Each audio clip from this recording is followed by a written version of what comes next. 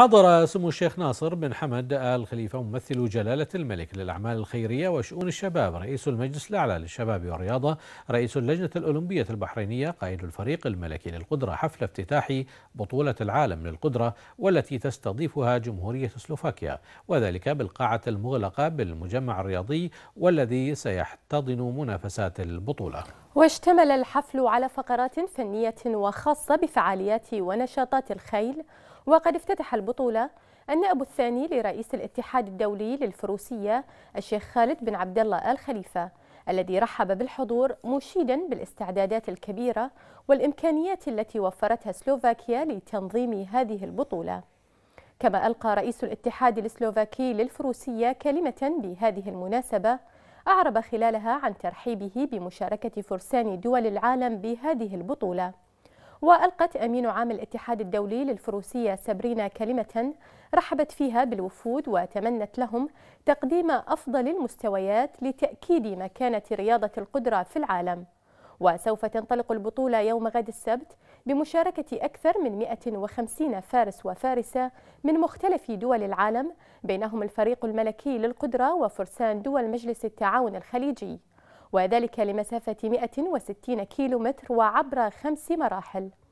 هذا وسيقود الفريق البحريني سمو الشيخ ناصر بن حمد آل خليفة الذي أكد بأن الفريق أصبح جاهزا للمشاركة في بطولة العالم للقدرة عبر الاستعداد المطول الذي تم خلال الفترة الماضية بإعداد الجياد والفرسان للبطولة. مشيرا سموه إلى أن الفريق الملكي سيشارك في السباق بخيرة فرسانه لامتلاكهم الرغبة الكبيرة بالتواجد على منصة التتويج في بطولة العالم للقدرة.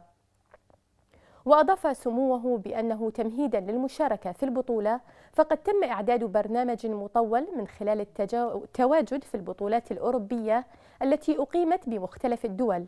وخلال تلك المشاركات نجح فرساننا في تحقيق أفضل النتائج وجاءت تلك النتائج مشجعة ورفعت من الروح العالية لأفراد الفريق للمشاركة في هذا السباق العالمي الكبير.